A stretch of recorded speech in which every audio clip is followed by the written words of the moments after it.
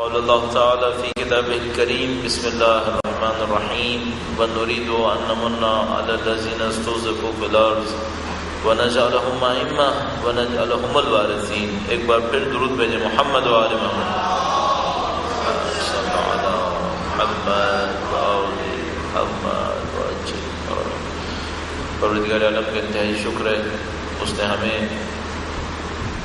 अपने दीन की तरफ़ रहनुमाई नसीब फरमाई है। इस दुनिया में जब मादा परस्ती नफ्स परस्ती नाफिज है, राइज है, खुदा ताल ने हमें दीन के नाम पर जमा होने, दीन के बारे में सोचने, समझने और दीन से वाबस्तगी का एक इम्कान फराहम किया है। खुदा ताल की दी हुई इस नमत का शुक्र बजा लाने के लिए दुरुद भेजे मोहम्मद वाल मोहम्मद।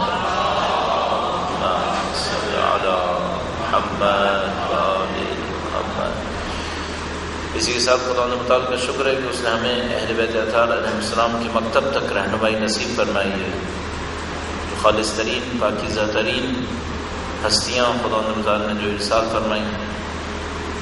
अलबत् जिस तरह खुदा मताल की हर नेमत के पीछे कोई इम्तहान है, कोई सवाल है, और वह एक ज़िम्मेदारी बनती है, इस तरीके से उन अहल बैत दीन के रास्ते पर चलना हमेशा एक चैलेंज देता है। हमेशा एक ज़िम्मेदारी हमारे रब के कानों पर रखता है। हम जानते हैं कि इब्तदाई अयाम से ऐसा ही था। यानी वो लोग जो दीन इस्लाम से, दीन इस्लाम के हल्के में दाखिल हुए, उनको इम्तहान से गुजरना पड़ता था। कुरान कुरान करीम के अंदर इशाद फरमाता है कि ये सोचना भी नहीं कि हम तुम्हारा इम्तहान नहीं लेंगे तुमने सोचा है कि तुम्हारा कोई इम्तहान नहीं होगा, तुम जन्नतों में दाखिल हो जाओगे। खुदा फरमाता है ऐसा कभी नहीं होगा। और न सिर्फ़ उस दौर के लिए, बल्कि हर दौर के लिए ऐसे ही है। जो शख्स दीन से वाबस्ता होगा, जो दीन के रास्ते में आगे बढ़ने की कोशिश करेगा, उसे कोई ना कोई चैलेंज लेना पड़ेगा। और ये इसी के ऊपर सारे दर्जा तकसीम होते हैं। कौन कितना चैलेंज लेगा हमेशा इंसान के पास एक रास्ता रहेगा। वो ये क्या है कि मैं कोई चैलेंज नहीं लेना चाहता, मैं अपने घर में सुकून से ज़िंदगी गुजारना चाहता हूँ। ज़ाहरी तौर पर यह इंतखब रहेगा इंसान के पास। तो मसलन जिस मौके पर अल्लाह के रसूल कुफर के साथ जंगों में मशगूल थे, मुमकिन है कोई शख्स मदीने के अंदर रहा हो, वो कहे कि मैं अल्लाह के रसूल के साथ नहीं जाऊँगा जंग करने के लिए। मैं अपने घर में बैठूँगा, मैं क्यों जंगों में जाऊँगा इसी तरीके से मसलन जब करबला की जंग हो रही हो, मारिका हो रहा हो तो कोई शख्स ये कहे कि मैं क्यों जाऊँ सईद शहदा की तरफ़? मैं अपनी ज़िंदगी गुजारूँगा। हर दौर में ये इंतखब बाकी रहता है कि इंसान कहे कि मैं नहीं जाना चाहता। लेकिन सिर्फ़ एक मुश्किल आती है ये कि एक ख़ास मौके के बाद अगर जुल्म का मुकाबला ना हो तो फिर जुल्म सबके ऊपर आ जाता है। फिर जुल्म किसी को नहीं छोड़ता। फिर उसकी मुसीबत सबके ऊपर तारी हो जाती है। और मैं इसकी मिसाल खुद करबला से अर्ज़ करता हूँ। सईद ने करबला के मैदान में कुर्बानी दी। ज़ाहरी तौर पर ऐसा ही हुआ कि लोगों ने साथ नहीं दिया सईद शहदा का, और न ज़ाहिर है कि वो सब कुछ नहीं होना चाहिए था। और उसके बाद जो हुआ, वो ये हुआ कि यजीद और उसके लश्कर ने उस मक्का और मदीना पे हमला कर दिया, जो बेजाहिर ये समझ रहे थे कि करबला के मार्के से हमारा कोई ताल्लुक नहीं है।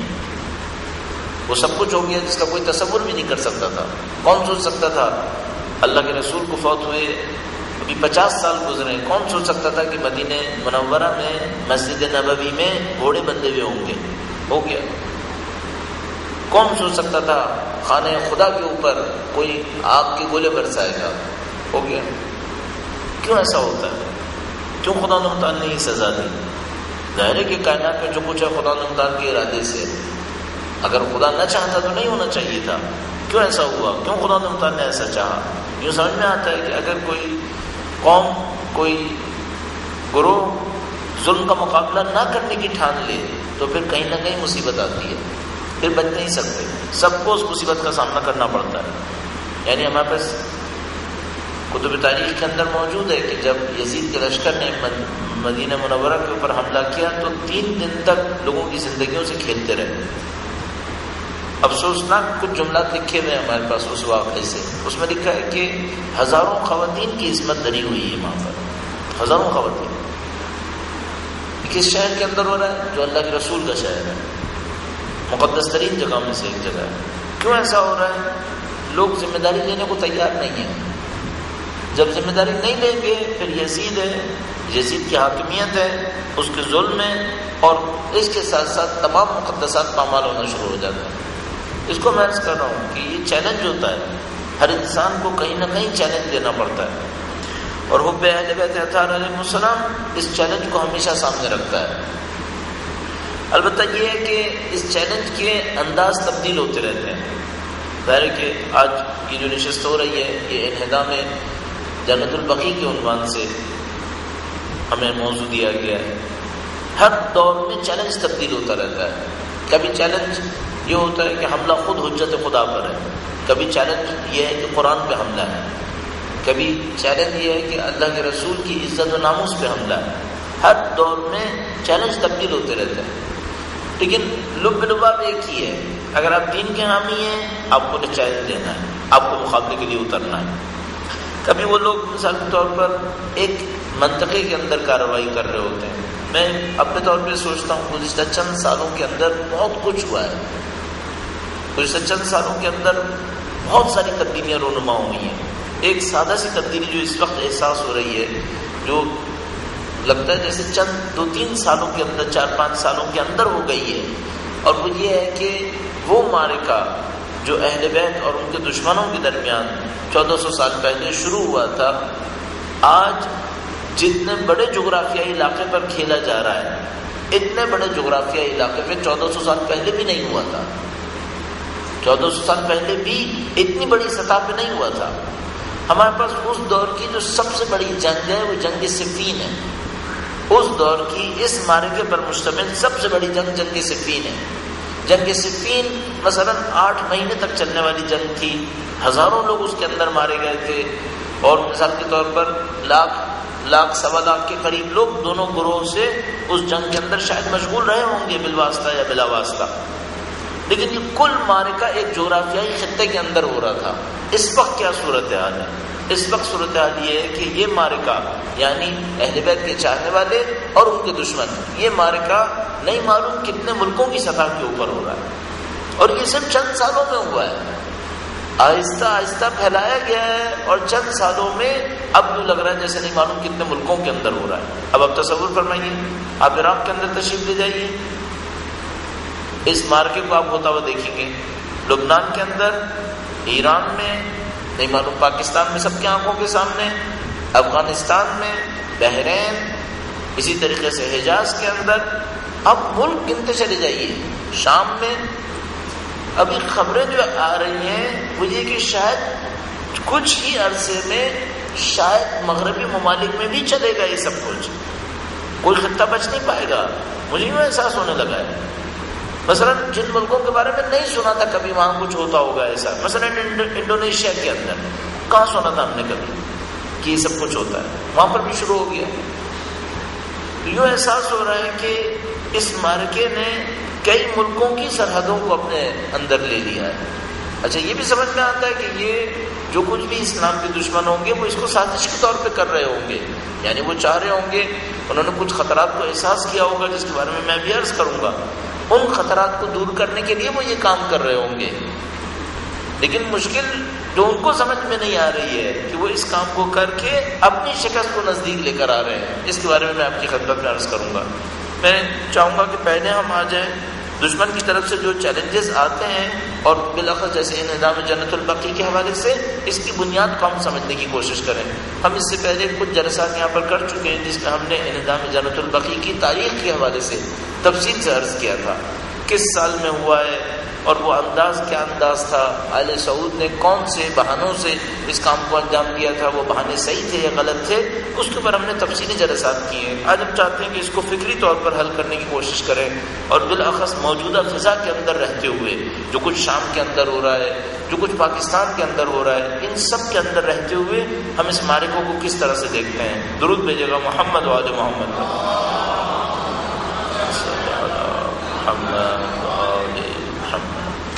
मिलके एक बार फिर दुरुद भेजेगा मोहम्मद वाले मोहम्मद।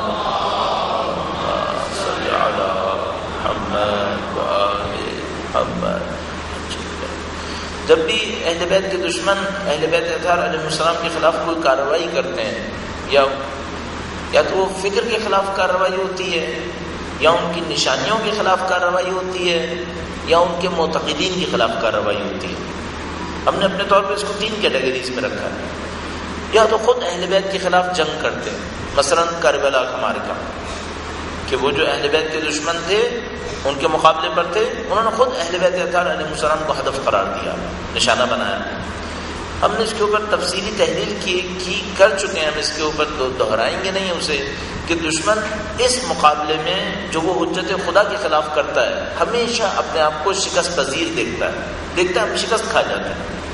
इसको हम तफसील से अर्ज़ कर चुके हैं किस तरीके से उसने हज़रत नूह अलैहिस्सलाम को बेबस करने की कोशिश की, लेकिन बाद में शिकस्त खा गए।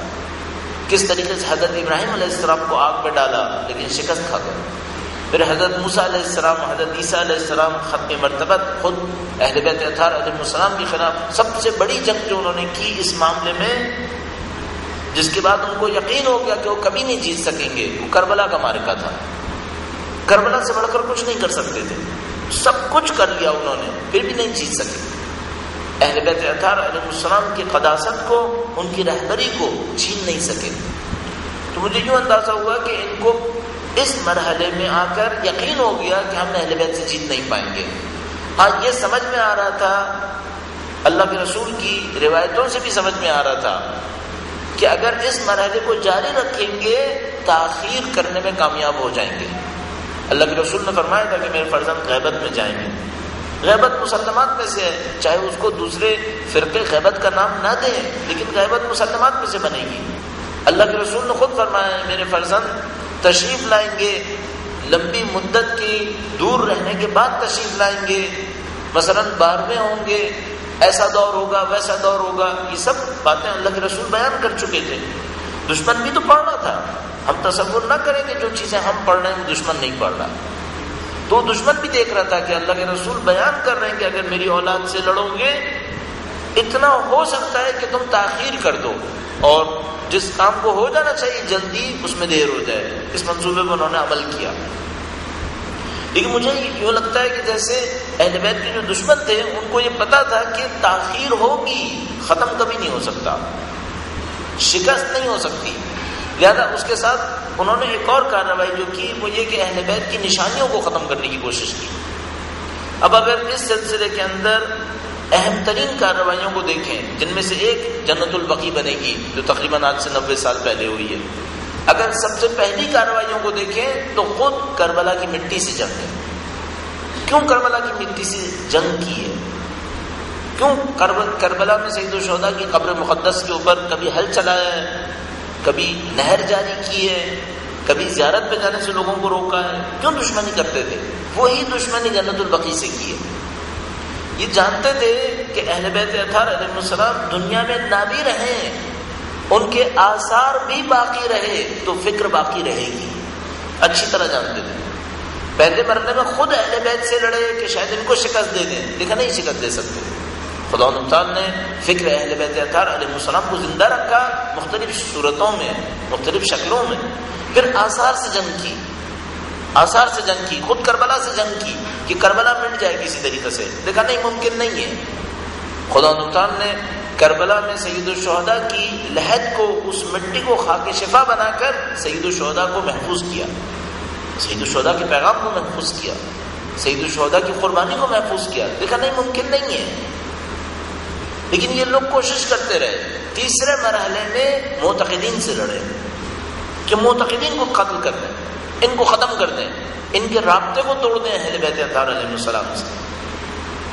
ये कि इन्होंने मसलन जन्नतुलबकी में कबूर अहल बैत को मिसमार किया ये मैं समझता हूँ कि हिमाकत में दलील है। फिर वही काम किया, जो चौदह सौ साल पहले करके नाकाम हो चुके थे। अगर जीतने का इम्कान था कब्रों से लड़कर जीतने का इम्कान था तो मुतवक्किल अब्बासी सईदुलशहदा की खबर पे हल चला चुका था। कोशिश कर चुका था, अगर जीतने का इम्कान होता तो वहाँ जीत जाता। अगर कबूर मुनहदम करके कोई जीत सकता होता तो अब्बासी खलीफा कभी के जीत चुके होते। क्यों नहीं जीत सके? क्यों अहलबैतम की फ़िक्र को खत्म करने में कामयाब नहीं हुए? मोतकदीन बढ़ते गए। कब मोतकदीन कम हुए? और अगर आज 1400 साल के बाद कोई अंदाज़ा लगाए, दुनिया में कितने मोतकीन अहलबैतम के, और कितने थे जब करबला हुई थी? तब कोई मुकायसा है क्या? करोड़ों में तो इनकी आँखों के सामने है। पूरी दुनिया के अंदर रोड पे आते हैं, सामने आते हैं कि हाँ हम मोतकीन हैं। कहाँ कहाँ से पता हुई है? तो अगर कब्रें मिसमार करके जीत सकते होते तो मुतवक्किल के जमाने में जीत जाते। बनी उमैया, बनी अब्बास के जमाने में जीत जाते। ये जो ये वापस गए हैं फिर वो किया जो 1400 साल पहले किया है। इसका मतलब है या अहमक है या शिकस्त खा चुके हैं। इनको पता है, मजीद कामयाबी नसीब नहीं होनी है। बाहर उन्होंने कोशिश करनी है। शैतान के हरबों में से एक हरबा ये है, शैतान अपने मोतकदीन को मशगूल रखता है मसनू उम्मीद दिलाता है कि शायद कामयाब हो जाओगे। शैतान को भी पता है, मैं कामयाब नहीं हो सकता। खुदा से कौन जीतेगा? शैतान को अच्छी तरह पता है कि वो खुदा से नहीं जीत सकता। लेकिन अपने मोतकदीन को मसनू उम्मीद दिलाता है, फरेब देता है कि शायद तुम जीत जाओगे। खुद उसको पता है, मैं नहीं जीत सकता। तो उसके मोतकदीन कहाँ से जीत जाएँगे? लेकिन फरेब देता है। वो इनका भी यही आदम है कि इन्होंने फिर वही किया जो पहले से कर रहे थे। इन्होंने कबूर को मुनादिम कर दिया। कबूर को मुनादिम किया, क्या सोचा? ये सोचा कि मसलन अहल बैत की निशानियाँ खत्म हो जाएँगी, अहल बैत के मोतकदीन खत्म हो जाएँगे और अहल बैत अथार की नाउज़बिल्ला फ़िक्र खत्म हो जाएगी। अच्छा ये भी आपकी खिदमत में अर्ज़ करता चलूँ कि खुद मदीना मुनवरा में खबूर अहल बैत अथार को मुनहदिम करने से पहले नजफ पे हमला किया था इन्होंने। इन्होंने नजफ पे हमला किया था। बाकायदा फौज लेकर गए, नजफ पे हमला किया। नहीं मालूम कितने हज़ार लोगों को शहीद किया, कितना वहाँ से लूट मार मचाई। क्या नजब खत्म हो गया? अगर कोई अकल रखता हो और स्ट्रेटजी को समझता हो तो इनको सोचना चाहिए था। इस वाकई से कम अज कम जो मुझे जहन में आता है, पैंतीस से चालीस साल पहले इन्होंने नजब पे हमला किया था। पैंतीस से चालीस साल एक नस्ल के लिए काफ़ी होते हैं। सोशल साइंसेस में तीस साल पर एक नस्ल तब्दील होती है। तो अगर मसलन नजब में हमला किया था और इससे शिया खत्म होने थे तो नाउजुबिल्ला ताला नजब शिया खत्म हो जाने चाहिए थे, क्योंकि नजब पे हमला हो चुका था। कौन सा शिया खत्म हुआ वहाँ पे? बाकी रहे। उसके चालीस साल के बाद मदीने से आकर मुनहदिम किया, मसलन। तो कौन सा तीन मार लिया? अब हम, हमें सोचना पड़ेगा, ये जो सब कुछ कर रहे हैं, इसके पीछे कहाँ पहुँचना चाहते हैं? हदफ क्या रखते हैं अपने अंदर? और ज़ाहिर है, हम लोग एक बहुत बुनियादी सवाल के सामने हैं। वो ये कि पाकिस्तान में हमारा मुस्तकबिल क्या है? और जो कुछ पाकिस्तान के अंदर हो रहा है, जो कुछ हर रोज हमारी आँखों के सामने हो रहा है, इसमें ये क्या चाहते हैं? हमें क्या करना होगा? और मुस्तबिल किस किस्म का होगा? मैं इनदाम में जन्नतुलबकी के हवाले से इस मसले को भी डिस्कस करना चाह रहा हूँ। दुरुद भेजेगा मोहम्मद वाले मोहम्मद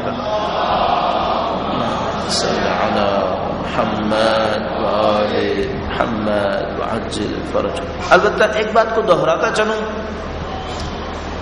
कभी इंसान सोचता है इनका दुश्मन कौन है असल में अहलबैत अथार सलाम के दुश्मन हैं कौन ये बात समझ में आती है कि जिस तरह दोस्त एक सतह में नहीं होते दुश्मन भी एक सतह में नहीं होते बात दुश्मन होते हैं है दुश्मन इतना दुश्मन नहीं है मसलन अगर कोई मुझसे कहे मैं कहूँगा जैसे जुबैर जुबैर ने जंग जमल में अमीर उमिन के खिलाफ शमशीर उठाई है। दुश्मन है, लेकिन इतना दुश्मन नहीं है। जब मौला अमीर उमिन ने याद दिलाया है तो पेशेमान भी हुआ है। इतनी दुश्मनी नहीं कर सकता दुश्मन दुश्मन में फ़र्क होता है। आप सबको एक सतह में मत समझें। कुछ दुश्मन होते हैं, मसलन उबैदुल्लाह इतने ज़्यादा जैसे। बहुत मक्कार, बहुत आगाह एक एक बात को समझने वाले। कुछ दुश्मन इतने होशियार नहीं होते। कुछ दुश्मन वो होते हैं जिनको पीछे वालों ने धकेल दिया होता है। उन बेचारों को भी पता नहीं होता हम कर क्या रहे मुसीबत में फंस जाते हैं। अपनी जहालत की वजह से, अपनी अल्लाह के सामने किसी गुस्ताखी की वजह से खुदा उतार उनको इस मुसीबत में डालता है कि वो इस जगह के ऊपर आके खड़े हो जाते हैं, वरना उतने मक्कार नहीं होते जितने मसलन मैंने अर्ज़ किया जैसे उबैदुल्लाह इनके साथ भी ऐसा ही है। हमें हमेशा देखना होगा, वो जो असली तरीन दुश्मन है, वो कौन है? मसलन, एक आदमी आता है, यहाँ पर फायरिंग करके चला जाता है, फ़र्ज़ कर लीजिए। आया ये असली दुश्मन है। इसकी हैसियत करंदे से ज़्यादा नहीं है। ज़्यादा से ज़्यादा वर्कर है ये। हिटमैन है ये। इसका काम है गोली चलाए। ये असली दुश्मन नहीं है। इसके पीछे कुछ और लोग होंगे जो असली दुश्मन होंगे। अच्छा मसलन, कुछ लोग होंगे जिन्होंने इसको असलाह दिया होगा, इसके लिए मंसूबा बनाया होगा, इस तारीख को इतने बजे वहाँ जाके ये करना है, ये इसको बताया होगा। वो असली दुश्मन है। मैं कहूँगा, वो भी असली दुश्मन नहीं है। ये हिटमैन है, वो इससे बड़ा हिटमैन है, इससे ज़्यादा कुछ नहीं है। इसने मंसूबा बना के दिया है। सबसे बड़ा मंसूबा उसी ने बनाया है, नहीं, उसके पीछे कुछ और लोग होंगे, उन्होंने किया होगा। मसलन हम कहेंगे, इनके जो पढ़े लिखे लोग होंगे, उन्होंने किया होगा। वो सबसे बड़े दुश्मन है एन मुमकिन है वो भी सबसे बड़े दुश्मन ना हो। उनके पीछे कुछ और ग्रुप होंगे। हमें जाके देखना पड़ेगा, ये इख्ताम कहाँ पर हो रहा है? आखिरी में, इंतहा में, कौन लोग हैं जो ये सब कुछ कर रहे हैं? बस मुमकिन है कि आप दस वास्तों से गुजरे तो आप असली दुश्मन तक ना पहुँच सकें। आपको सोचना पड़ेगा, मैं भी उन वास्तों के नाम नहीं लेना चाहूँगा आपके सामने। मसलन एक कारकुन है जो यहाँ पे आके मार के गया है, उसके पीछे सप्लायर होगा, उसके पीछे कोई मंसूबा बनाने वाला होगा, उनके पीछे शायद इनका कोई आलिम होगा, नहीं मालूम क्या होगा। उसके पीछे मसलन फ़र्ज़ कर लेते हैं, बाहर से पैसा देने वाली कोई टीम होगी, उसके पीछे और कोई बड़ा इदारा होगा, उसके पीछे कौन है? सबसे पीछे कौन होना चाहिए? अब मैं अर्ज़ करूँगा, अगर कुरान करीम किताब हिदायत है और यकीनन किताब हिदायत है तो ये किताब हिदायत सिर्फ़ दोस्तों के बारे में नहीं बताती, तुम्हारा दोस्त कौन है, तुम्हारा रहनुमा कौन है? ये किताब हिदायत ये भी बताती है, तुम्हारा दुश्मन कौन है? तुम्हें नुकसान पहुँचाने वाले कौन है? किताब हिदायत है, सब कुछ बताएगी। हम कुरान करीम में देखते हैं, कुरान करीम, मसलन, हमारा सबसे बड़ा दुश्मन कौन है? अब कुरान करीम ने एक इस्तेला इस्तेमाल की है जिसको आजकल दुनिया में जो वो दुश्मन है, इस इस्तेला से अपने आप को छुपाना चाह रहे हैं। अपने आप को बचा कर कहीं और ले जाना चाहते हैं। मतलब कुरान करीम इरशाद फरमाता है, ये जो अहले किताब है, इनके अंदर अच्छे लोग भी हैं। कुरान करीम ने हज़रत ईसा के मानने वालों की तारीफ़ की है, कुरान करीम ने। फरमा इनके अंदर बाज लोग ऐसे हैं जो रातों को अल्लाह की राह में आँसू बहाते हैं। उनके गिरिए उनके इनाबा को खुदा ने पसंद किया है। कौम यहूद में से भी कहता है, कुछ कलील ऐसे हैं जो सही हैं। फिर आज की दुनिया में हम किसको कहें कि मसलन, ये दुश्मन सर फहरिस्त हैं। मैं अपने तौर पर कहूँगा, सहयूनियत है। सहयूनियत है। बस ना क्या ये कौम यहूद है। मसलन, कौम यहूद में खुदा खुद इर्शाद फरमाता है, कुछ ग्रोह ऐसा है जो मुस्बत भी है। लेकिन जो इस वक्त सबसे बड़ा दुश्मन नज़र आता है, जो इन सब के पीछे कार्रवाई करेगा, वो सहयूनियत है। जदीद नाम सहयूनियत है कम अज कम इसका। जदीद नाम ये है। अच्छा इनको मुश्किल क्या है हम लोगों से? इनको अहले बैत से क्या मुश्किल है? मसलन, इनको खुदा से दुश्मनी है, इनको कुरान से दुश्मनी है, इनको अहले बैत से दुश्मनी है। ये अहले बैत अतारम के मामले में इतने शदीद क्यों हैं? बहुत सादा सा एक काम है। जाकर आप अपनी रिवायतें पढ़ लें, जो इन्होंने भी पढ़ी होंगी। फिर हमें बहुत आसानी से समझ में आएगा, ये हमसे दुश्मनी क्यों कर रहे हैं? बहुत सादा सी बात है। आप खुद देख लीजिए, आपके पास, अल्हम्दुलिल्लाह, उर्दू में अब बहुत सारे मनाबे मौजूद हैं जो तर्जुमा हुए हुए हैं। उनको जाके मुताला फरमाइए। देखिए, आप खुद देख सकते हैं कि मसलन, जब इमाम तशरीफ़ लाएँगे, बैतुल मुकद्दस तशरीफ़ ले जाएँगे, वहाँ जाकर इनका मुकाबला करेंगे और इनको शिकस्त देंगे। ये सुन्नी के पास भी मौजूद है, शिया के पास भी मौजूद है, आज से नहीं, अल्लाह के रसूल के जमाने से मौजूद है। अल्लाह के रसूल ने इर्शाद फरमाया सैकड़ों रिवायात अल्लाह के रसूल ने अपने आखिरी फर्जन के बारे में इर्शाद फरमाई है।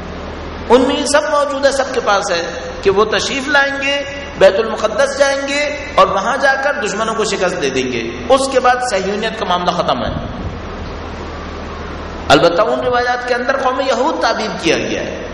ज़ाहिर है कि उस जमाने की इस्तलाह यहूद राइज इस्तलाह थी।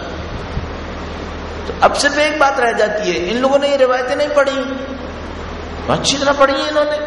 इसका मतलब क्या है? इसका मतलब यह है कि जिस दिन औलाद अली इतनी मज़बूत हो जाए कि बैतुल मुकद्दस पहुँच सके, उस दिन इनका काम खत्म हो गया। उस दिन इनका काम खत्म हो जाएगा। इनको किसी और से डर नहीं है, क्योंकि इनको पता है अल्लाह के रसूल ने किसी और के वहाँ पहुँचने पर शिकस्त नहीं लिखी इनकी। अल्लाह के रसूल ने नहीं कहा, मसलन, मेरा कोई मानने वाला पहुंचेगा, वो इनको शिकस्त देगा। नहीं कहा अल्लाह के रसूल ने। अल्लाह के रसूल ने कहा, मेरा बेटा पहुंचेगा, वो शिकस्त देगा इनको। इनको इनसे खतरा? अपनी आँखों से इन्होंने देखा है, ये सबको हरा सकते हैं। अमीरुल मोमिनीन और औलाद हैदर को नहीं हरा सकते ये हैदर से खाइफ है। इन्होंने अपनी आँखों से देखा है।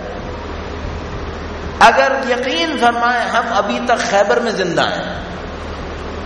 हम अभी तक खैबर में ज़िंदा हैं क्योंकि उन्होंने अपनी आँखों से देखा है। हर मुसलमान लड़ने उसको हरा सकते हैं हैदर को नहीं हरा सकते। औलाद हैदर को नहीं हरा सकते। अल्लाह के रसूल ने कहा इसका बेटा पहुंचेगा तुम्हारे पास। इनको लड़ना है इस, इस नस्ल से। इनको पता है जिस दिन ये नस्ल ताकतवर हो जाएगी इनकी मौत का दिन है वो। ये लड़ेंगे। अब उसके लड़ने के लिए क्या करेंगे? जो कुछ कर सकते हैं करेंगे। जन्नतुल बकी का इनहदाम तो क्या अर्ज़ करूँ? ये तो बीबी सैयदा के घर पे भी हमला करेंगे, सब करेंगे। क्योंकि इनको पता है नस्ल यही नस्ल है जिसने हराना है। वो इस नस्ल से लड़ेंगे। इस नस्ल को खत्म करने की कोशिश करेंगे। कामयाबी हुई है। जाहरी तौर पर कामयाब भी हुए। जब नौ नौ साल की उम्र में, पाँच साल की उम्र में इमाम बन रहे हैं, इसका मतलब यह है कि पिछली नस्ल को बहुत जल्दी शदीद करने में कामयाब हो गए। तो ज़ाहिर कामयाबी भी हुई है, लेकिन इन सबको भी पता है, ये कामयाबी इतनी नहीं हो सकती कि नस्ल खत्म हो जाए। ये नहीं होगा। अब इनके पास जो रास्ता रह गया है, वो ये कि खुद अमीर मोमिन को खत्म नहीं कर सकेंगे, औलाद अमीर मोमिन को खत्म नहीं कर सकेंगे, कुछ ऐसा हो जाए कि मोतकदीन खत्म हो जाए। मोतकदीन खत्म हो जाए। और ये भी मैं आपकी खिदमत में अर्ज़ करता रहूँ, जिस तरह नोट करेंगे कि औलाद हैदर और उसके मानने वाले मज़बूत हो रहे हैं, उतनी साजिशें ज़्यादा करेंगे। क्यों? देखेंगे मौत का वक्त नज़दीक आ रहा है। मैं आपको गारंटी से कह रहा हूँ, यकीन से कह रहा हूँ, इनको ईरान के एटम बम से खतरा नहीं है। इनको ईरान के एटम बम से खतरा नहीं है। इनको खतरा इस बात से है कि अहले बैत के मानने वाले मज़बूत हो रहे हैं। इनको इससे खतरा है। और ये जो इन्होंने कार्रवाई की है कि पूरी दुनिया में फिरकवारियत की आग बिछाई है, ये इस बात की दलील है कि इनको पता चल गया है कि अब वक्त बहुत कम रह गया असल आप खुद तस्वुर कीजिए फिरकवारियत की जंग कभी भी इनके लिए फ़ायदेमंद नहीं रहेगी। क्यों मैं अर्ज़ कर रहा हूँ? क्योंकि जब आप फिरकवारियत की जंग कर रहे होते हैं तो लोगों को दीन की तरफ़ लाना पड़ता है आपको, चाहे दूसरे की दुश्मनी के लिए। अब आप खुद तस्वुर कीजिए, हम मसलन शिया हैं। हमसे कोई सौ फ़ीसद लिबरल आदमी फिरकवारियत की जंग करेगा? वही वो क्यों करेगा? उसके लिए दीन अहम है ही नहीं।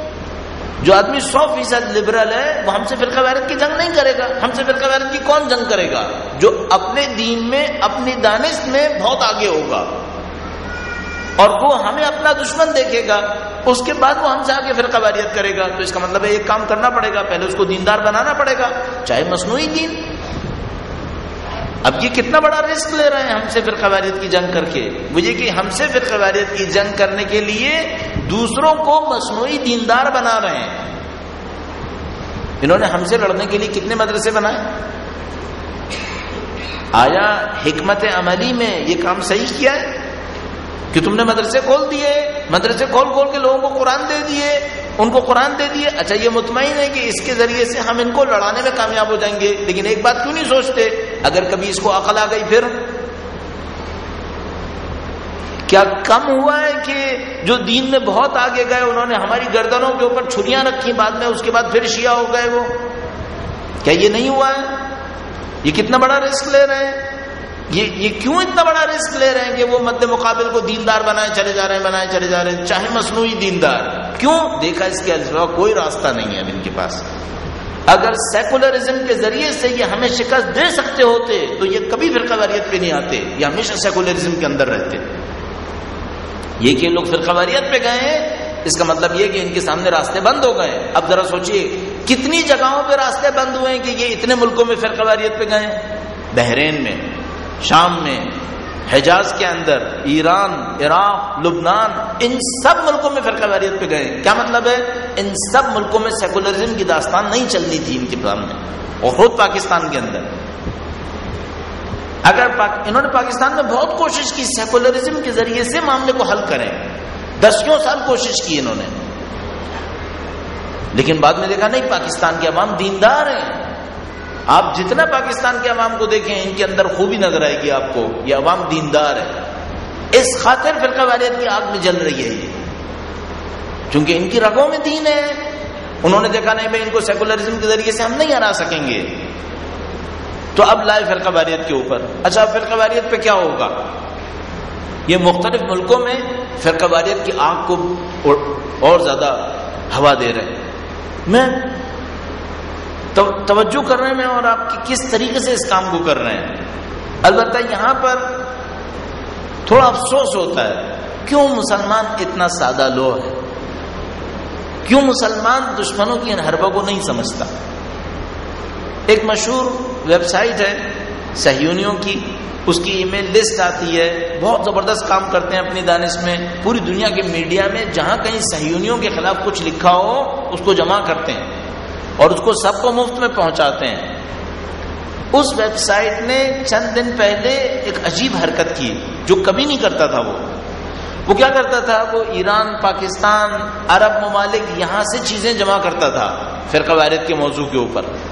कि मसलन, जो यहूदियों के खिलाफ हुआ, सहयूनियों के खिलाफ हुआ, उसे जमा करता था, फिर फिर कवायद पे भी करना शुरू कर दिया, कि कहीं एक फिरका ने दूसरे के खिलाफ कुछ बोला, उसे भी जमा करता था। लेकिन चंद दिन पहले इसने एक अजीब काम किया। जो इससे पहले मैंने कभी नहीं देखा, मैं इस लिस्ट को मेरा ख्याल में कम अज कम दस बारह साल से देख रहा हूँ। एक ईमेल भेजा है, उसके अंदर लिखा है कि Shia in London celebrates the death of, मसलन एक शख्सियत का ज़िक्र किया है, जो अहले सुन्नत के नज़दीक मोतबर है और तशैय पसंद नहीं करते। कहा उसकी मौत का जश्न मनाया किसने? Shia in London. अच्छा जब मैंने ईमेल की हेडिंग पढ़ी, मैं चौंक गया। मैंने कहा, भाई, ये कैसे हुआ? लंदन के शिया या वाकई ये काम कर रहे होंगे तो मैं देखा सोचा देखता हूँ उसको। जाके देखा तो उसने बताया कि, मसलन एक चैनल है फिदक नाम करके। उसने एक प्रोग्राम दिया है। उसने एक प्रोग्राम दिया है और इसने नस्बत किसको दी है? लंदन के शियों को नस्बत दे दी है। वो चैनल है, वो इस किस्म की हरकतें करता है। खुले आम गालियाँ देना शुरू कर देगा। अब खुद तस्वुर करें, इस वक्त की फिजा में किसके हक में है ये? वो सही वेबसाइट बता रही है कि हाँ इसने काम किया है। क्यों बता रही है? इसने कभी ये बताया कि किसी ने शियों के खिलाफ क्या कुछ किया है? नहीं। इस बात को उछाला है। क्यों किया है? इनको अब लंदन में भी आग लगानी है। इनको हर जगह ये आग लगानी है। इनको मगरबी ममालिक में भी ये काम करना है। बस आप फिनोमिनल ग्रोथ देखेंगे अभी। कुछ मुद्दतों के अंदर ये चीज़ें बहुत आगे जाएँगी अभी। और मैं जितना जा रहा हूँ इन ममालिक के अंदर, मैं देख पा रहा हूँ कि नहीं, वो जो हम देख रहे हैं, झेल रहे हैं, ये अभी बहुत सारे लोगों को झेलना है। ये अभी बहुत कुछ होना है यहाँ पर। इस एतबार से सबके सामने एक सवाल है, मुस्तकबिल क्या है? इन सबका अंजाम क्या होना है? और मैं खासकर पाकिस्तान में आता हूँ। मैंने अर्ज़ किया, ये एक तसलसल है। पहले फ़िक्र अहल बैत से लड़े फिर उनकी निशानियों आसार से लड़े, फिर उनके मोतदीन से लड़े। अब मैं आपके सामने एक क्वेश्चन रखना चाह रहा हूँ। और वो क्वेश्चन ये है कि हमारा मुस्तबिल क्या है पाकिस्तान के अंदर? हर रोज कुछ ना कुछ लोग शहीद हो रहे हैं। और ज़ाहिर है कि ये सब चीज़ें इंसानों के नफ्सियात के ऊपर, इंसानों के जहन के ऊपर कुछ ना कुछ असरात छोड़ देती हैं। हम लोग लोहा थोड़ी है, फौलाद थोड़ी है, पत्थर थोड़ी है कि हमारे अंदर कोई हिस्स नहीं है। औरतें बेवा हो रही है, हमें नज़र नहीं आ रहा है। बच्चे यतीम हो रहे हैं, हमें समझ में नहीं आता। ज़ाहिर सबको समझ में आ रहा है। चाहे वो कितना ही कहे मैं ला ताल्लुक हूँ, जितना ही कहे कि मैं इन्वॉल्व नहीं हूँ, लेकिन मसन क्या मुतासर नहीं हो रहे हम लोग? सब मुतासर हो रहे हैं। इसके पीछे लोग क्या चाहते हैं? मैं तफसील से आपकी खिदमत में पहले अर्ज़ कर चुका हूँ। दो तीन में से एक काम करना चाहते हैं हमसे। जो मैं मजीद इसकी तफसील में अर्ज़ नहीं करूँगा, तेईस एक और मसले की तरफ़ जाना चाह रहा हूँ। मसलन या तो चाहते हैं हम भी इनकी तरह असलाह उठाएँ, इन्होंने बस पे हमला किया है, हम भी बस पे हमला करते हैं अच्छा बदकिस्मती से मामूलन लोग ना भी कहें जबान से तो उनके दिल में ये ख्वाहिश होती है। अवामी बिहेवियर यही होता है ना मतलब वो कहते हैं, हमारे मर रहे हैं, उनके नहीं मर रहे, क्या चाहते हो? उन्होंने बस पे हमला किया, हम भी बस पे हमला करें। अब आप खुद तस्वुर करो। एक बस को रोक कर चारों तरफ़ से 40-50 लोग आदमी जमा हो जाएँ, आर्मी के कपड़े पहने हुए उसके ऊपर हमला करें 25-30 आदमियों को शहीद कर दें। हम नहीं कर सकते ये काम। ताकत नहीं है हमें हमारे घर के सामने से इनकी कोई बस नहीं गुजरेगी। गुजरेगी, लेकिन हम क्यों करें? आया हमें अहले बैत ने यह सिखाया है। कब अहले बैत ने हमको सिखाया कि हम बेगुनाह का खून बहाएँ? इनको किस ने सिखाया है। इनको यजीदियों ने सिखाया है, इनको कुफार ने सिखाया है। हम क्यों करें? हमें अहले बैत ने ये नहीं सिखाया।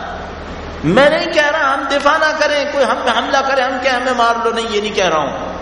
लेकिन आया हम बेगुनाह का खून बहाए जो ये कर रहे हैं, इसकी हमें दीन इजाज़त देता है क्या? ये भी चाहते हैं कि हम यही करें। ये भी हमसे यही चाह रहे हैं क्योंकि आसान तरीन रास्ता यही है। भाई तो उन्होंने रो, बस रोकी। क्या किया बस रोकने के लिए? बस रोकने के लिए मिसाल के तौर पर किसी ड्राइवर के साथ कोऑर्डिनेट किया होगा कि भाई तू इस इलाके के अंदर बस लेकर आएगा हमारे 40-50 लोग आ जाएँगे आर्मी के लिबास के अंदर तू रोक लेना। रोक लिया। बसों में पहले बैठने से पहले सबकी चेकिंग हो चुकी है। इस्लामाबाद और रावलपिंडी के अंदर उनके नामों की लिस्ट जारी हो चुकी है। गवर्नमेंट की बसेस हैं। रोक लिया, बंदों को उतरवाया, उनकी शनाख्ती परेड की और उसके बाद शहीद करना शुरू कर दिया। कितने लॉजिस्टिक इन्वॉल्व हुई है एक बस गुजर रही है, रोज़े खुद के ऊपर, रोड साइड पर रखा हुआ एक रिमोट कंट्रोल बम फट जाता है। बंदे शहीद हो जाते हैं इसके अंदर। कितनी लॉजिस्टिक इन्वॉल्व है जो हम नहीं कर सकते? हम नहीं कर सकते ये काम? कितना पैसा चाहिए इस काम के लिए? ये जो दोस्त है आप पूछते हैं मसलन हम, हमारे क्यों नहीं मारे? मैं अर्ज़ कर रहा हूँ, ये मारना बहुत आसान है। लेकिन क्या अहले बैत ने हमें सिखाया है? अहले बैत ने हमसे ये मांगा है? अहले बैत ने हमें इसकी इजाज़त दी कभी? हर किस नहीं स्टैंडर्ड्स क्या बनाए स्टैंडर्ड्स ये बनाए कि हज़रत हुर की फौज पे सईद शोदा ने हमला नहीं किया। कहा, इसने रास्ता रोका है शमशीर नहीं उठाई अभी। हम हमला नहीं करेंगे। सईद शोदा के पास लोग आए, उन्होंने कहा, ये आपका रास्ता रोक रहा है। अभी हज़ार लोग हैं, हम तो अभी चंद सौ हैं, अभी इनसे लड़ लेंगे, कोई बात नहीं, इन हज़ार लोगों को मार के भगा देंगे हम लोग। सईद शोदा ने फरमाया हुर ने शमशीर चलाई क्या मेरे ऊपर? कहा, नहीं चलाई। कहा, अगर इसने नहीं चलाई तो मैं भी नहीं चलाऊँगा। जब तक ये शमशीर नहीं उठाएगा, मैं भी नहीं उठाऊँगा। हम उठा लें। हम बेगुनाहों को खून बहाए। हमें अहल बैत ने नहीं कहा अच्छा मसलन कोई क्या, अगर तुम खून नहीं बहाओगे तो कुर्बानी देनी पड़ेगी। सईद शोदा से बढ़ के देनी पड़ेगी। क्या हो जाएगा? हमारे बंदे मारे जाएँगे ना। हक की खातिर हम मरेंगे। तो सईद शोदा ने क्या नहीं सिखाया हमको? सईद शोदा को नहीं पता था ये मनहूस क्या करने वाले सईद शोदा को पता था कि इस खाक के ऊपर मेरा खून बहने वाला है। चाहूँ तो अभी इन हज़ार लोगों को खत्म करके रख दूँगा। सईद शोदा ने इजाज़त नहीं दी। किसी ने इजाज़त नहीं दी है। अहल बैत ने हमें नहीं सिखाया ये। लिहाजा इनके ये चाहते हैं हम अपने उसूलों को पामाल करें। आप अपने उसूलों को क्यों पामाल करेंगे? इन्हीं उसूलों की खातिर तो ज़िंदगी गुजार रहे हैं, कुर्बानियाँ दे रहे हैं। इनको क्यों पामाल करें? लिहाजा ईजान मोहतरम, बहुत अच्छे तरीके से समझने की कोशिश कीजिए। आप बहुत कॉम्प्लिकेटेड इशू के अंदर हैं इस वक्त। आप एक पेचीदा दौर के अंदर हैं। ये सादगियों का दौर नहीं है इस वक्त। बस उनकी एक ख्वाहिश है, वो हमें मिलिटेंट बना दें। हम भी असला उठाएँ, मारना शुरू कर दें, मारे उनको भी, बेगुनाह को मार देना उजबिल्लाह ताला। हम कभी ये काम नहीं करेंगे। और क्या चाहते हैं? और ये चाहते हैं हम दीन से दूर चले जाएँ सेकुलर बन जाए। ये मैं अर्ज़ करता चलूँ, पाकिस्तान के अहल सुन्नत के नाम मसलन, जो ये समझ रहे हैं, अभी मरने वाले शिया हैं, हजारा हैं, ये हैं, वो हैं, हमारी बारी नहीं है, लिहाजा मरने दो। या वो जो मसलन नाम नेहाद सेकुलर हैं, और वो कह रहे हैं कि ये दीनदार लोग एक दूसरे से लड़ रहे हैं, इनको लड़ने दो, हमारा कोई मसला नहीं है। मेरा अपना जहन ये कह रहा है कि इनको 2000 के बाद से अच्छी तरह सीख जाना चाहिए था इस बात को, कि तुम बचोगे नहीं अगर हमें मरता देखकर खुश हो रहे हो। अगर कोई अहमक पाकिस्तान के अंदर ये समझ रहा है कि हम मरेंगे, ये बचेंगे, ये नहीं बचेंगे, अगर खुदा ना करे नाउजुबिल्ला हम ना रहे। इन्होंने समझा ये बच जाएँगे।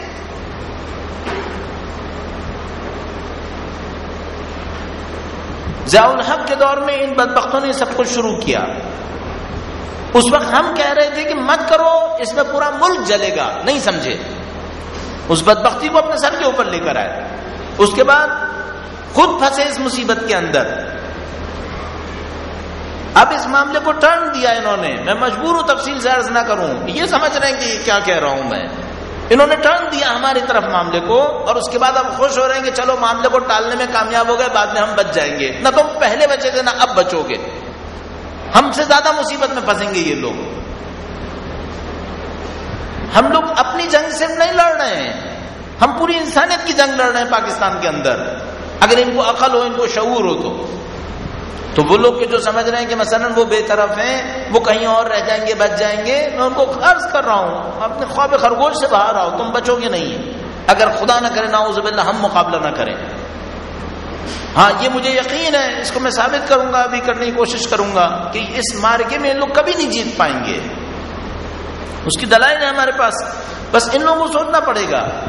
कि ये जो समझ रहे हैं कि ये खामोश तमाशाई बने, देखते रहेंगे और मसलन शिया पिस रहे नाउजबिल्ला और उसके बाद मामला खत्म हो जाएगा। ये नहीं जानते इनके साथ क्या होने वाला है। इनको सीख लेना चाहिए था, उस चीज़ से जो तालिबान ने अफ़गानिस्तान में किया है। इनको सीख लेना चाहिए था। इनको सीख लेना चाहिए था उन चीज़ों से जो सवात और वजीरिस्तान के अंदर तालिबान के एजेंडों ने कब्जा करने के बाद किया है इनके साथ। अभी भी नहीं सीखना चाहते। अभी भी हमारे खून के ऊपर खुशियाँ मनाना चाहते हैं नाउजबिल्ला अलबत्ता उमूम पाकिस्तानी ऐसा नहीं है। हमें मालूम है। उमूम अहल तसन्न ऐसे नहीं है कि मसलन वो हमारे मरने के ऊपर खुशियाँ मना रहे होंगे नाउजबिल्ला ताला। उनको पता है हम किस मुसीबत से गुजर रहे हैं। आए दिन कॉलम्स आ रहे हैं, आए दिन अखबारों के अंदर बातें आ रही हैं, जो अहद तसन्न लिख रहे हैं, और वो जान रहे हैं कि यहाँ पे क्या मुसीबत हो रही है। बस एक हदफ उनका यह है कि हम मिलिटेंट बन जाए। एक हदफ यह कि हम सेकुलर बन जाए। ये दो रास्ते और तीसरा रास्ता यह है कि हम अपने दीन के अंदर फरामोशी की तरफ़ चले जाएँ। हम अपने दीन की निशानियों को बुला दें। हम अपने दीन के मरासिम को बुला दें, जिसको वो लोग समझ रहे हैं कि हम पर खौफ बिठाकर यह हदफ मिल सकता है। इनकी बहुत उम्मीदें लगी हुई हैं इस मामले के ऊपर। अलबत्ता मैं अर्ज़ करूँगा कि अभी भी बेबुनियाद, बेदलील उम्मीदें लगी हुई हैं। थोड़ा सा तारीखी एतबार से जायजा लेते हैं, चंद मिनट्स में दुरूद भेजेगा मोहम्मद वाले मोहम्मद में।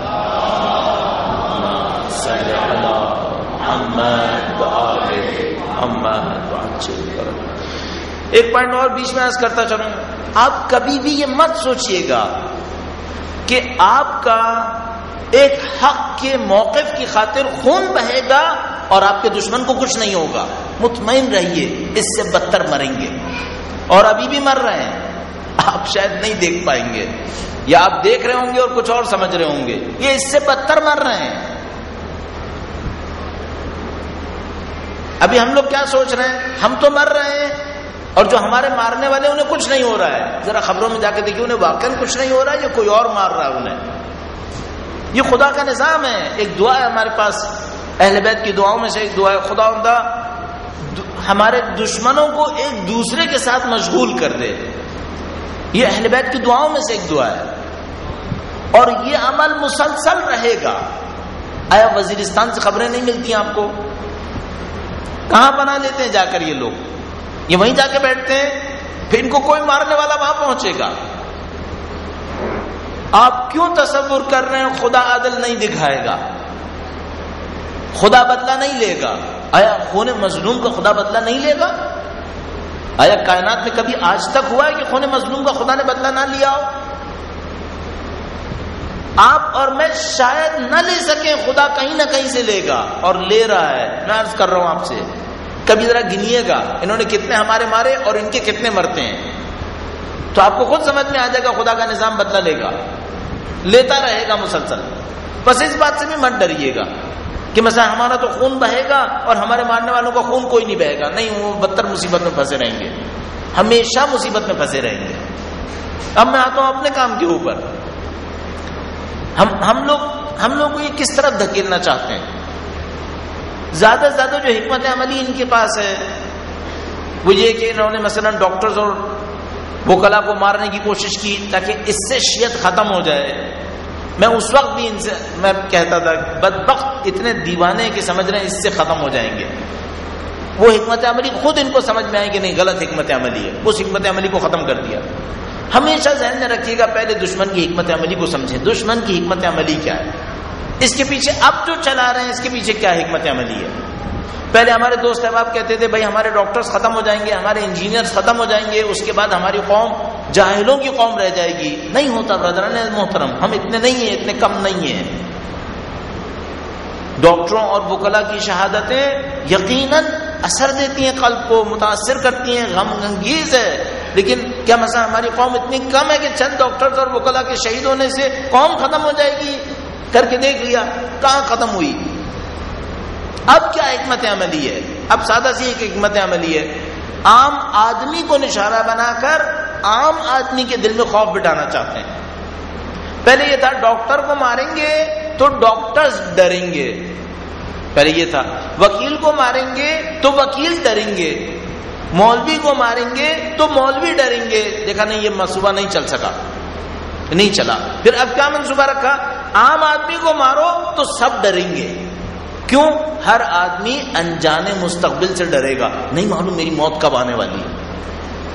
भाई, पहले वकील मर रहे थे, डॉक्टर मर रहे थे, आम आदमी कहता था, मैं वकील नहीं हूँ, मैं डॉक्टर नहीं मैं बचूँगा। अब क्या होगा? हर आदमी सोचता शायद मैं भी गया। सही है? बस पूरी हिम्मत अमली, इस खौफ के ऊपर है। आम आदमी के दिल में खौफ बिठाओ। अब जो कोयटा में रह रहा है डेरा इस्माइल खान में है, हत्या कराची के अंदर, दूसरे शहरों के अंदर, उन सब के जहनों के ऊपर मिसाल के तौर पर एक खौफ बैठ जाए। अब मैं अर्ज़ करूँ, अभी मैं नहीं कह रहा कि हम क्या करने वाले हैं, या हमें क्या करना चाहिए, पहले मैं इसी का जायजा ले लेता हूँ। इससे कौम मरती है क्या? खौफ बिठाने से? दो मिसालें देता हूँ आपकी खदमत में। बहरेन में जो हुकूमत बनी हुई है मैं खुद बता चुका हूँ, पहले भी दो तीन दफ़ा मैं भी बहरेन जा चुका हूँ, देख चुका हूँ इस इन तमाम वाकयात को। इससे कहीं ज़्यादा सख्त इनके अजदाद थे। इनसे कहीं ज़्यादा सख्त थे। इनसे कहीं ज़्यादा बदबख्त होंगे। ये तकरीबन 200 साल से ऊपर हो गए, ये जुल्म कर रहे हैं। आया बहरीनी खत्म हो गए। आया बहरीनी मिट गए। मैं आज करूँ, सिर्फ़ इतना काफ़ी है, कभी उनके खातन के मुजाहरे की तस्वीर देख लीजिए। जो ऊपर से दिखा रहे होते हैं। एक औरत बेपर्दा नहीं होती। एक भी औरत बेपर्दा नहीं होती। आया बहरीनी मिट गए? बहरीनी खत्म हो गए? क्या जुल्म नहीं किए इन्होंने? क्या बंदे गायब कर दो असियतें करो, जेलों में डाल दो, फौज में सारे भर्ती कर दिए दुश्मना ने अहले बैत, दुनिया भर से जमा करके। फौज में, पुलिस में, यानी जहाँ किसी के पास लाठी भी होगी, वहाँ बहरेन का शिया नहीं होगा बहरेन के अंदर। वहाँ दूर बाहर से आएँगे सारे। खत्म हो गए बहरेनी। देख लें इनकी ताकत कितनी है बहरेन की शिया की। 200 साल में भी खत्म नहीं हो सके। अब हम पे खौफ बिठा के हमें खत्म करना चाहते हैं। हम कैसे खत्म होंगे? चलिए इससे बदतर मिसाल दे देता हूँ। आपका जहन फ़ौरन ये कह रहा होगा, भाई बहरेन में तो अस्सी फ़ीसद थे इसलिए बच गए हिजाज में कितने फ़ीसद है? हमसे कम है। हम यहाँ बीस फ़ीसद से ज़्यादा है। वो बीस फ़ीसद भी नहीं है वहाँ पर। और यहाँ पे तो हुकूमत हिजाज के सऊदियों के मानने वालों की है। वहाँ तो वो खुद बैठे हैं। तो बदबक खुद बैठे हैं वहाँ पर। इन्होंने क्या जुल्म नहीं किया मदीना के शियों पे मसलन। मैं खतीफ और एहसा का नाम नहीं ले रहा कि वो तो पूरे इलाके के इलाके शिया है। मैं मदीने की बात करता हूँ, जहाँ पे तादाद भी कम थी शियों की। आज 80 साल हो रहे हैं। इन्होंने क्या नहीं किया इस दौरान? उलमा शहीद हुए, लोग शहीद हुए, तमाम मरासिम के ऊपर पाबंदी लगा दी। अब खुद तस्वुर करें, जब उनके मानने वाले पाकिस्तान में ये कुछ कर रहे हैं, जबकि हुकूमत में नहीं है तो वो जो खुद हुकूमत में बैठकर सऊदिया में इन्होंने क्या नहीं किया होगा? अब फिर मैं एक सवाल करता हूँ, कितने साल किया? अस्सी साल किया। क्या कुछ किया? हमें शिया को काफिर कहा, नहीं मालूम, नजिस कहा, हमें ये किया, हमें वो किया। अस्सी साल बाद आया मदीना से शिया खत्म हो गए। शिया मरासिम खत्म हो गए। शिया निशानियाँ खत्म हो गई। क्या खत्म हुआ? क्या खत्म कर लिया इन्होंने? अस्सी साल मेहनत की है। क्या खत्म कर लिया इन्होंने? बहरेन में खत्म नहीं कर सके इतने जुल्म के साथ। सऊदिया बेहतरीन मिसाल है। अगर कोई जबर करके कौम को खत्म कर सकता होता दुनिया में कहीं पर भी शिया को तो मदीने से खत्म कर लेते। हिजाज से खत्म हो चुके होते, नहीं खत्म कर सके ये लोग। अब दुनिया के किसी दूसरे मुल्क की मिसाल तो फिर छोटी मिसाल हो जाएगी ना उसके सामने। कोई हुकूमत सऊदियों से ज़्यादा तो पागल नहीं होगी इस मामले के अंदर। वहाँ नहीं कर सके, यहाँ कर लेंगे। हाँ मैं एक मिसाल देता हूँ। जहाँ पर इनको जाहिरी कामयाबी हुई है, फिर वहाँ पे वापस उन्हें नाकामी होगी। बलूचिस्तान की मिसाल देता हूँ मैं। बलूचिस्तान शिया मरासिम का गढ़ था। शिया मरासिम अंजाम पाते थे। 1910 1915 तक तमाम बलूचिस्तान के शहरों के अंदर मरकजिया आजादारी होती थी। हमसे 1920 के करीब कहीं गलती हुई है। चंद ओलमा उनके गए हैं, हिजाज, उन्होंने वहाँ जाके तालीमत हासिल किए, वापस आए हैं यहाँ पर मेहनत की है, हमसे एक गलती हुई है, हमने उस इलाके में तवज्जो नहीं दी है। उस इलाके के लोगों ने अपने ओलमा नहीं बनाए, अपने अंदर शियत को परवान नहीं चढ़ाया, इस गलती में मुश्किल में फंसे उनके अंदर से शेत के मरासिम खत्म हो गए। शेत के मरासिम खत्म हुए तकरीबन सत्तर साल तक उन्होंने बेजाहिर कामयाबी ली है। तकरीबन सत्तर साल तक। अब दोबारा फिर नाकामी पे अब दोबारा बलोचिस्तान अपने तशखस को समझने की कोशिश कर रहा है। दोबारा अहल की आजादारी बलोचिस्तान के अंदर वापस आ रही है। अब मैं आपकी खिदमत में सिर्फ़ एक बात अर्ज़ करूँगा आखिर में। हम कभी नहीं हार पाएँगे। और मैं नई कसम खाना चाहिए इंसान को लेकिन मैं कहूँगा खुदा की कसम हम लोग नहीं हार सकेंगे अगर हम सिर्फ़ या हुसैन कहते रहे। हम लोग कभी नहीं हार पाएँगे। शायद ये सारे डॉक्टर्स खत्म कर लेंगे सारे वकील खत्म कर लेंगे सारे ओलमा खत्म कर लेंगे। जब तक हमारा बच्चा या हुसैन कहेगा हम कभी शिकस्त नहीं होगी। हमें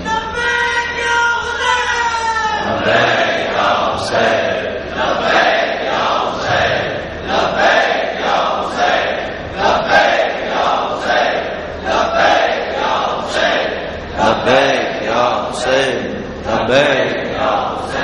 लोग किस गुमान में जब जब तक हम मरासिम को ज़िंदा रखेंगे, चाहे शहीद होते रहे, हमें कोई शिकस्त नहीं दे सकेगा।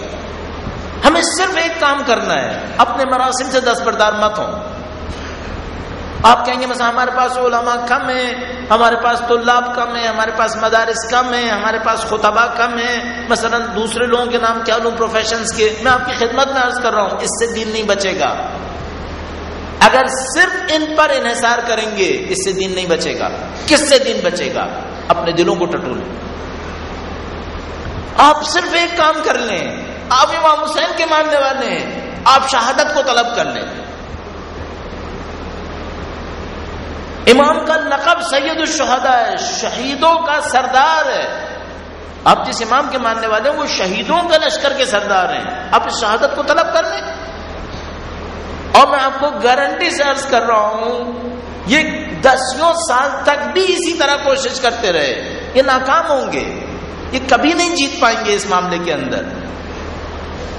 और अल्हम्दुलिल्लाह रब्बिल आलमीन शिया ने पाकिस्तान के अंदर कम से कम इस बात को अच्छी तरह समझा हुआ है। हम में बहुत इख्तलाफात हैं और इंतहाई फजूल इख्तलाफात। कभी कभी इंसान को हँसी आती है और कभी कभी रोना आता है इख्तलाफात को देखकर। यकीन माने बाद तासुफ होता है। क्यों इतने सादा मिजाज हैं हम लोग? अभी जन्नतुल बकी का मामला शुरू हुआ, दिन आने लगा। जनाब एसएमएस की भरपार भरमार होना शुरू हो गई कि इसराइल ने कोई खबर नहीं गिराई है, कोई खबर मुनहदिम नहीं की है, अमेरिका ने कोई खबर मुनहदिम नहीं की है। उनके खिलाफ क्यों बोलते हैं? आले सऊद के खिलाफ क्यों नहीं बोलते? बंदे खुदा इसराइल में कौन सी मासूम की खबर है जिसको मुनहदिम करेगा? अमेरिका में कौन सी मासूम की खबर है जो मुनहदिम करेंगे? वो खुद नहीं आएँगे मुनहदिम करने के लिए। वो आले सऊद को पाल कर आगे भेजेंगे कि तुम मुनहदिम करो मुसलमान बन के जितनी निशानियाँ आले सऊद ने मुनहदिम की है, इस्लाम की, उतनी निशानियाँ कोई कुफर नहीं कर सका। उनके इशारों पे करते रहे।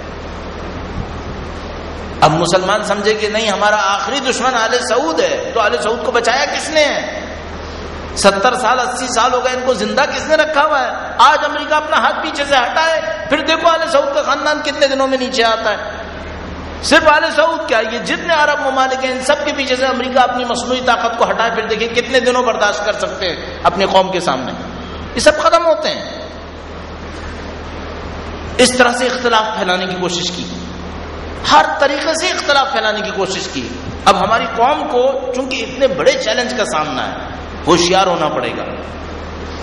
अपने जहन को इस्तेमाल करना पड़ेगा कि भाई हर वो शख्स जो नारा लगा रहा है, ये नारा किस मकसद से लगा रहा है? इसके पीछे हदफ क्या है? इसके नारे से फ़ायदा कौन उठाएगा?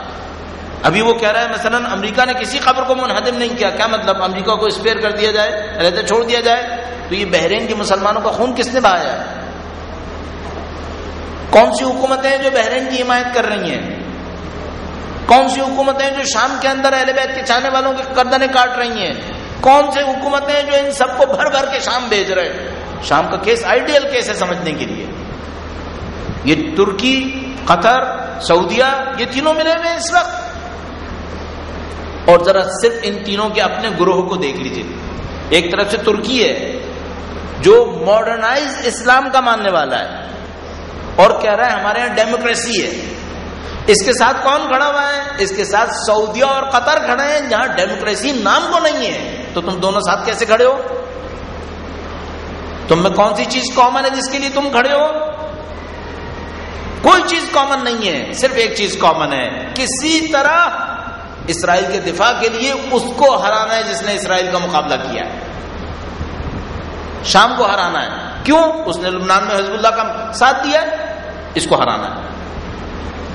हमारा शिया नहीं समझ सकता ये सारी बात थोड़ा सा शूर को इस्तेमाल करें, थोड़ा अपनी बेदारी को इस्तेमाल करें, दुश्मन की साजिशों को समझने की कोशिश करें, आप संगीन वक्त से गुजर रहे हैं।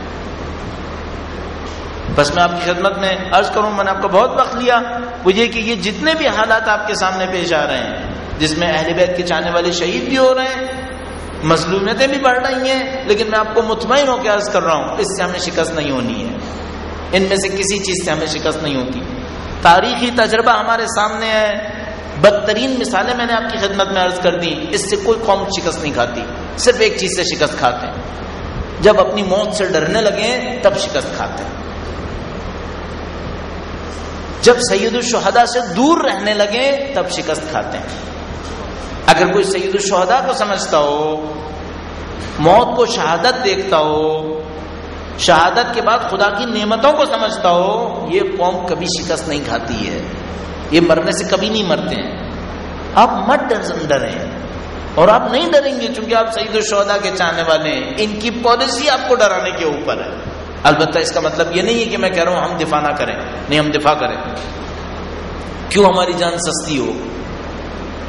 हम यकीनन दिफा करें, जितने भी मंसूबे बना सकते हैं, इस मामले के अंदर मंसूबे बनाएँ, अपनी ताकतों को जमा करें।